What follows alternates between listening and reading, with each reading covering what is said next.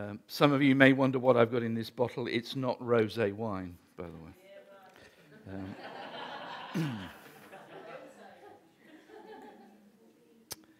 I'm going to start with a, uh, surprisingly perhaps, a verse from St. Paul's letter to the Ephesians. And this is from the English Standard Version. For we do not wrestle against flesh and blood, but against the rulers, against the authorities, against the cosmic powers over this present darkness, against the spiritual forces of evil in the heavenly places. Therefore, take up the whole armor of God, that you may be able to withstand in the evil day and having done all, to stand firm.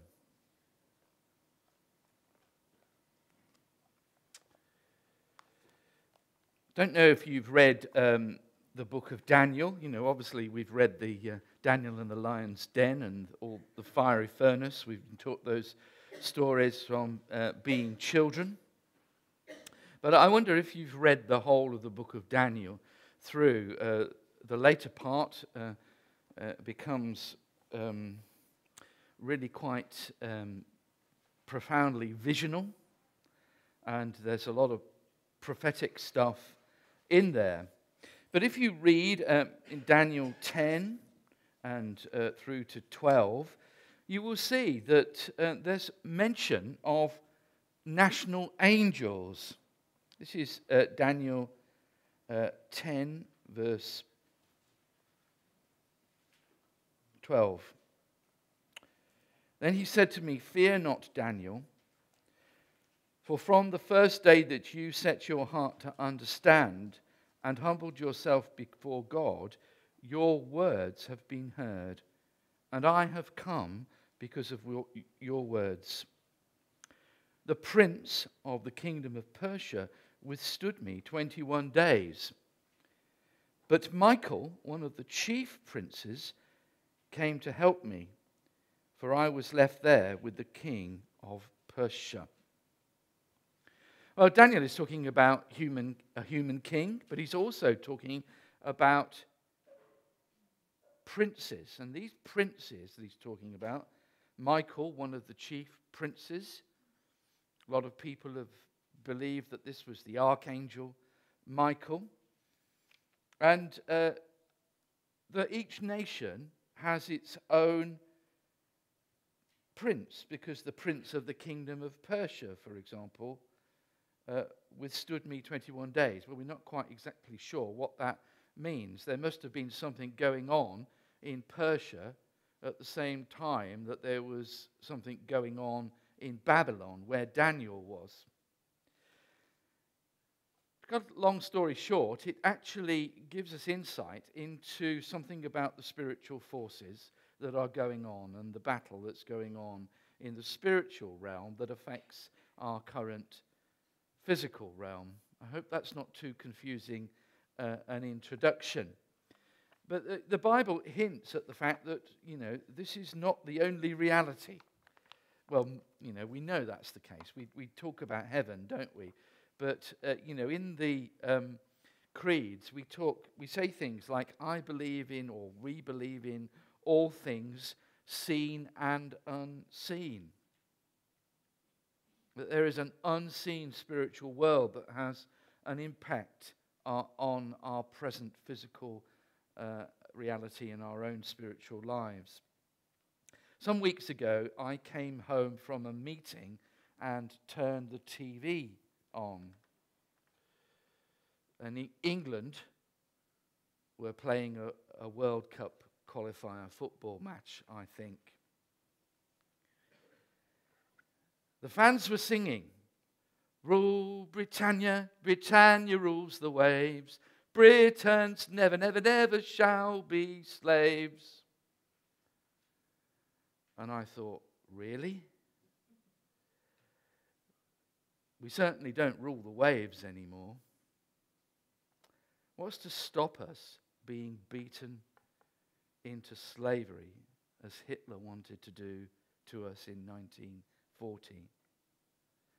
You know, I think those war years, when our nation was on its knees, in a practical sense, was the last time it was spiritually, truly on its knees. And large numbers of people flocked back to church because they feared about the future and about our nation. And there was a lot of talk at the time about us being under judgment. That people flocked to church, mainly women, it has to be said, but also uh, uh, men who were not in the forces went to church and they pleaded to the Lord for help.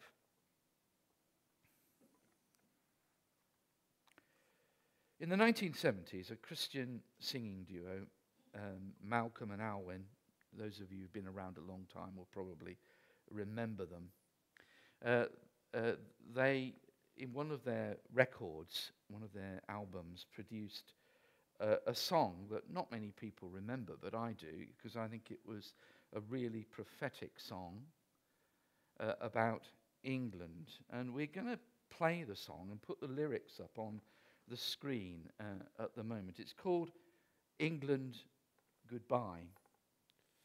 And I want you to follow these lyrics and hear what it is that they're, that they're saying uh, in this song. These two, Malcolm and Alwyn, um, interestingly enough, uh, came from the same Salvation Army Corps that Philippa's mum was brought up in Mansfield in Nottinghamshire. That's right, isn't it? it well, it is. It is. The, it is.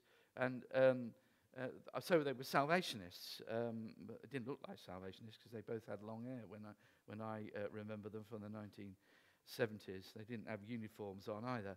Um, but uh, uh this song is a. It, I, it, we're going to play it now so we can hear it. Um, Alwyn Wall and Malcolm Wild the writings on the wild wall, the writings on the wall, which is actually from the book of Daniel, Mene Mene Tekel Parsin, where the Lord writes on the wall. Uh, uh, and it's a, a, a, the Lord is writing on the wall of our country. We have our own uh, spiritual prince. I don't know if we know his name, but uh, uh, what I mean is not Jesus. I mean that there are spirit, there are angels. There is a, uh, an, an, angel delegated to our nation. And of course, the Lord wants to bring his message to us. I hope this is not too uh, up there for you, but I think in reality, we need to know that the Lord is at work uh, through his mighty power in our time. When I think of you, you're beautiful and green, they sing, but somehow you've turned to grey, and I see you've lost your way like a lover who's unfaithful to his bride. I wonder if you can see why I thought of this song when thinking about the, the message of the prophet Hosea. Because just as uh, the people of Israel had lost their way and had been unfaithful to, to God, there is a sense in which our nation has become unfaithful. And uh, there is a sense in which, uh, you know, I think this is a really powerful critique uh, that Malcolm and Alwyn have written, uh, saying, you know, that people have lost their first love. They've lost uh, their, as a nation, we, you know, we were once a very, very Christian nation. I think everybody went to church. Of course, that was never the case. But there was a huge proportion of the population that once were worshipping uh, regularly in ordinary parish churches up and down the country, faithfully believing in a God who would answer their prayers, a God who would guide and lead them, who would teach them how to live in a way that honored God. Britannia, rule Britannia, Britannia rules the waves. Can we have our pennies up on the screen? I need to come and look at them actually. First one, I don't know if you can Oh, no, we haven't got it there yet. Um, Britannia, of course, was the personification of Britain. You know, this uh, uh, um, picture of Britannia, or something like it, has been around since the first century. The Romans uh, uh used it. Um, and it's a female personification of our uh, nation. And in this coin from 1799. From, from uh, halfway through the 18th century, this uh, appeared on British pennies right up to the time of decimalisation, and then it got transferred uh, to the 50p piece until 2008, I think. Um, but Britannia is the sort of, you know, it's it, the perso- personification of our nation. And if we go on to the next one, you see there, she's offering the piece, uh, the dove of, uh, she's offering the, the, the, the olive branch on the first one uh, there.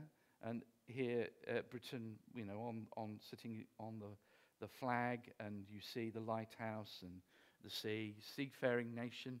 We went around the world, we took the gospel with us. And of course, literally thousands and thousands and thousands of people went out uh, proclaiming the gospel to the world.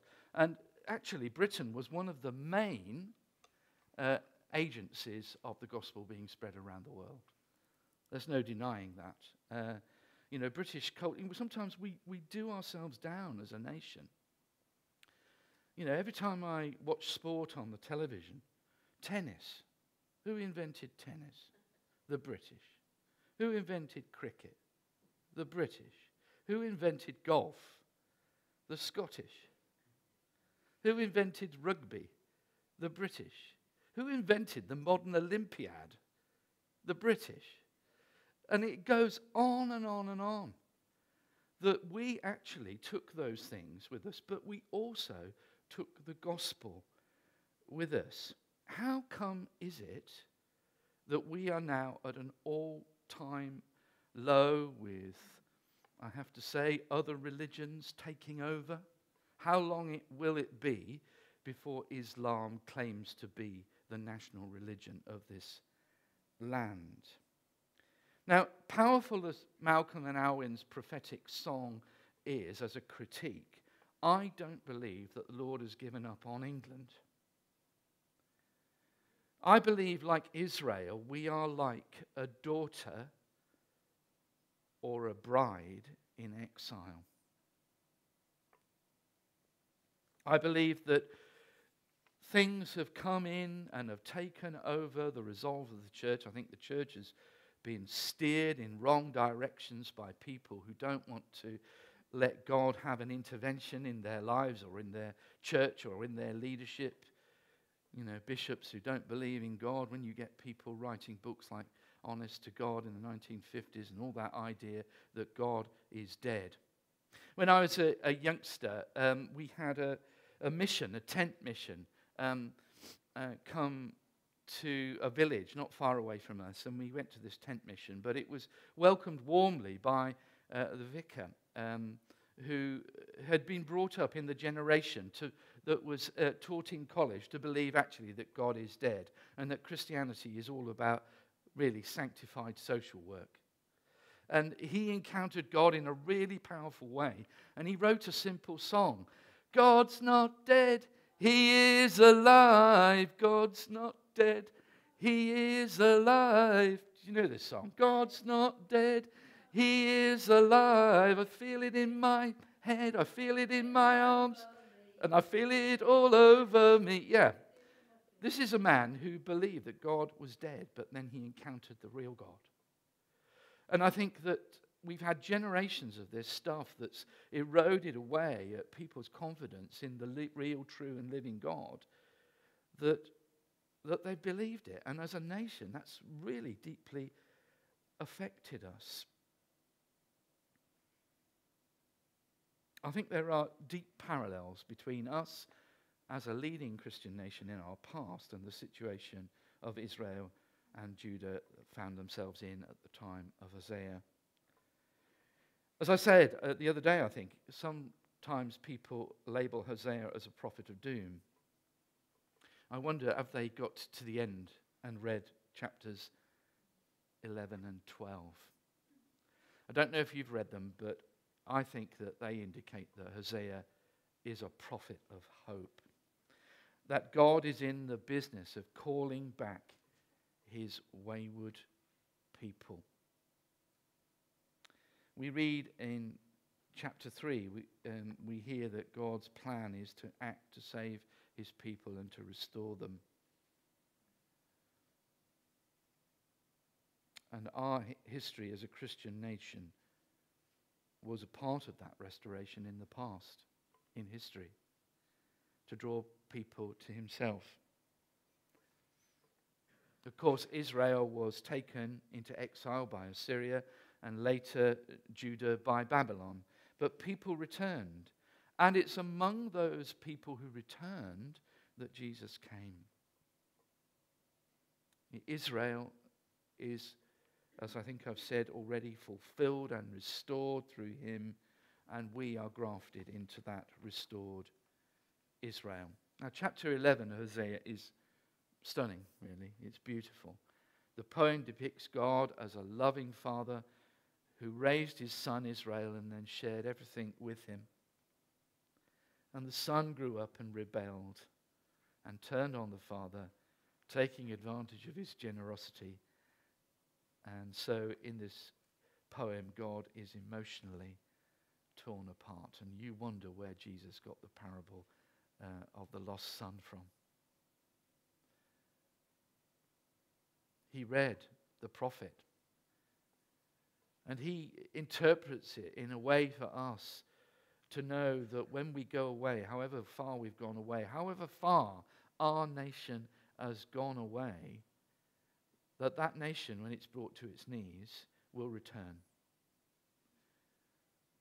When, our, when the people of our nation are, as it were, feeding swine and are hungry enough to eat the food that they're feeding to the swine, then perhaps their pride will be crushed and that they will return to the Lord who alone can save them. In Hosea 11, one moment he's angry, and naturally he says he's going to bring severe consequences, but the next moment he's heartbroken. And he says through the prophet that he's moved by his mercy and his compassion, and he's going to forgive the son he loves.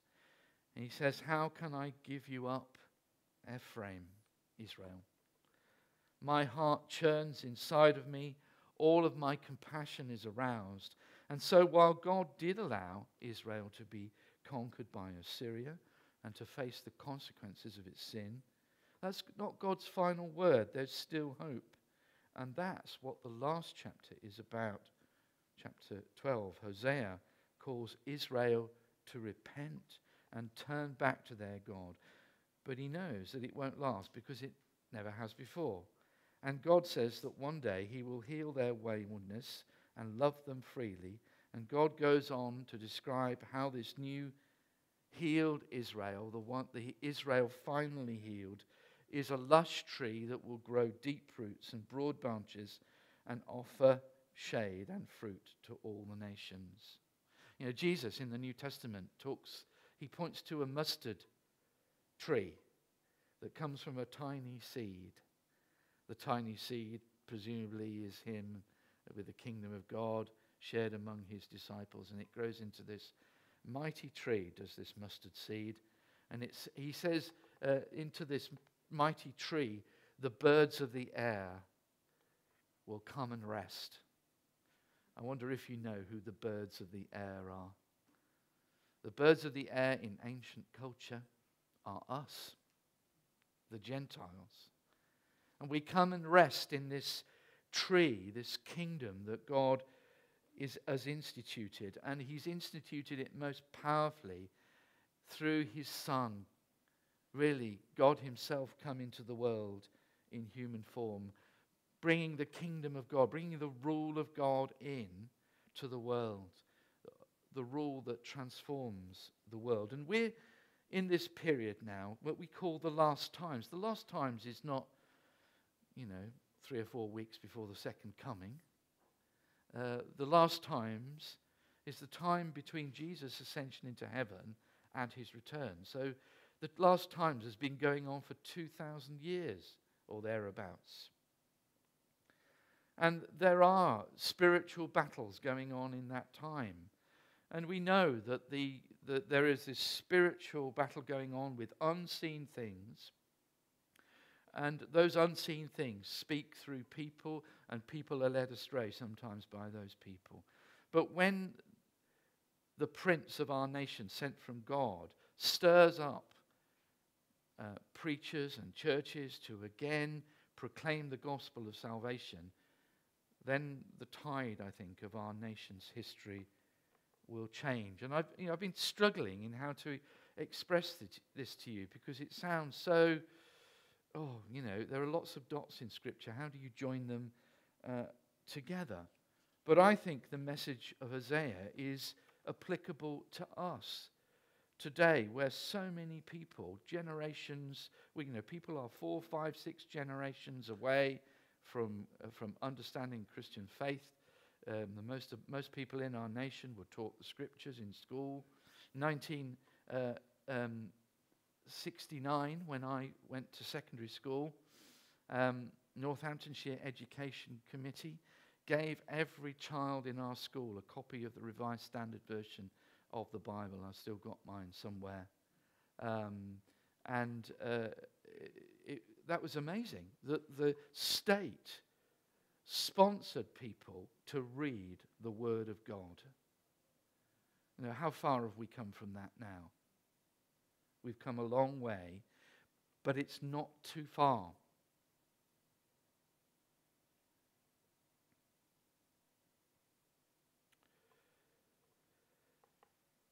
Hosea calls Israel to repent and turn back to their God, but he knows uh, that that won't it last entirely because you know they've gone their own way again and again. But of course, he's at work today through the regenerated Israel.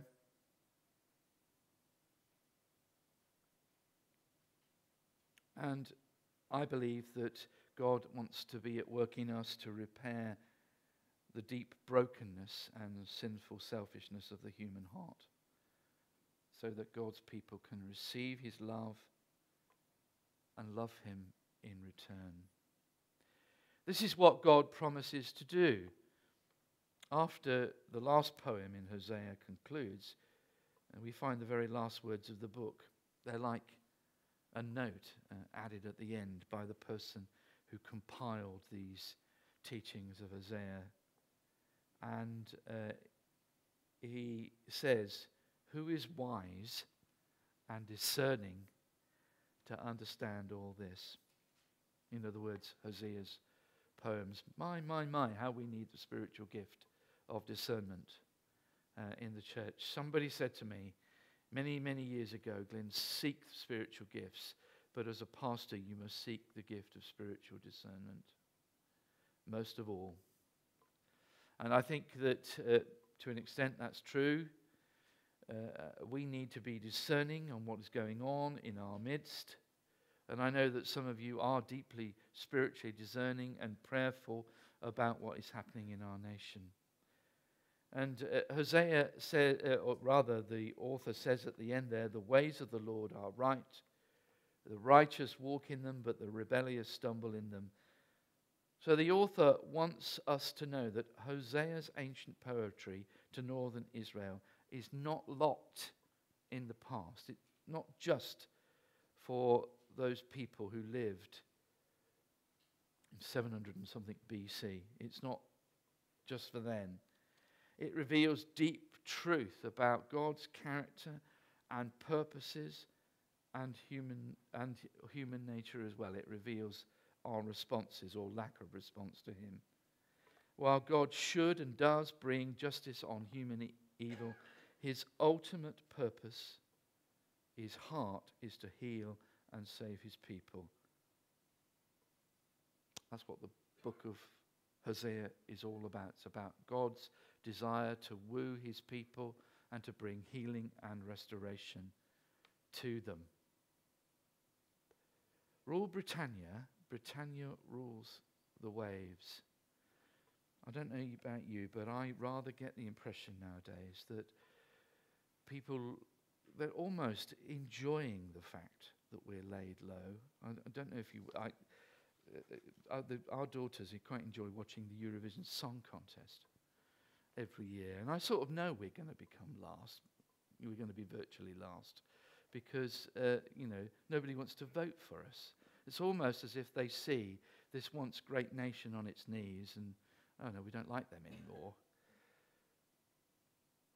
But I, as somebody who believes in the mission of God to this nation, you know, we've sent missionaries overseas in the past. We call them mission partners nowadays. We're not allowed to call them missionaries. I think we need a big mission here. And I think the people of God need to be the first to point people back to God and to say that God longs for you to return. I don't think we need to be lacking confidence in this. I think that we can actually say, The Lord wants to know you. We can actually go up to people and say that. Let's have confidence in the God who changes things, in the God who heals and restores, in the God who makes himself known. Because certainly there are plenty of people uh, uh, in our world who know their need and their fallenness and their, their needs for salvation. And the only way they can find that, they might seek in other ways, they might seek through other religions. You know, um, that song I introduced you to uh, when we first came here. Oh Lord, I love your word. You know this. Oh Lord, I love your word. It is life, it is health, it is food for my soul. Oh Lord, I love your word. Bryn who wrote it, uh, is probably one of the best rock musicians that's not become famous. Uh, Pink Floyd wanted him to play on their record, The Wall. And he refused, saying, I'm not just another brick in the wall. This was after he'd become a Christian. And he realized that he was cherished and loved by God, one of, God's uh, beloved.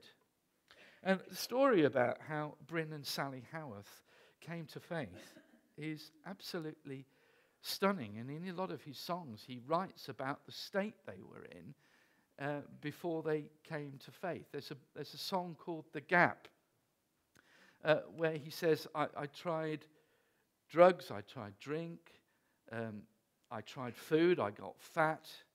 Uh, um, there's this hole in my life. And then he realized so much that he needed something. He tried all sorts of things Eastern religions, meditation, uh, and so on, and actually art. And uh, he was quite into painting. And uh, one day he sat down with an easel and he painted a picture of a circus tent with, I think, blue and white stripes on it. That's right, isn't it? Blue and white stripes on this circus tent a visionary picture, as it turns out, because not soon afterwards, not long afterwards, they were driving along and they saw this tent. That's my tent, said Bryn. And they stopped and they went into the tent, and it was a tent mission. And Sally so much wanted to run to the front when the appeal came, she nearly ripped Bryn's arm off. But they both went to the front. And somebody said, What do you want? And they said, We need him.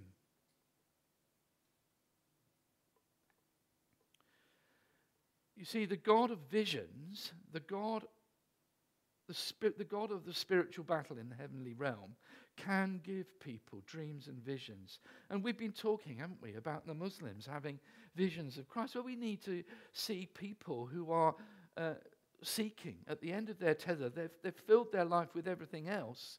We need to see them having visions that will lead them to the place where they can hear the good news of Jesus. And perhaps we need to be praying for people of Bushmead to be having visions about our church. Do you remember um, that uh, film? The one with do, do, do, do, do do, do, yeah, Close Encounters of the Third Time. Uh, you know, I, I, don't know if you remember that film, if you've ever seen it, but one of the guys in it, he, he, he, he can't stop drawing pictures and making models of this mountain place. And, it, and he goes there, and eventually they encounter these aliens. Well, I think, you know, that, that's a fiction thing, of course. But I think that God will give people visions that will cause them to come to the place where the gospel is proclaimed.